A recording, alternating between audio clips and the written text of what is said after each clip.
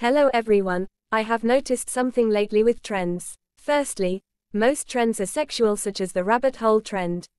Some don't even have age ratings. This causes kids to see them, especially if they're young, which is a huge problem and is not acceptable. Commonly, abuse is also one. This can be things such as GRP and worse. Anyway, this is all I have to say. Though I'm quite disappointed in the trends currently. Goodbye, everyone. Have a lovely rest of your day or night.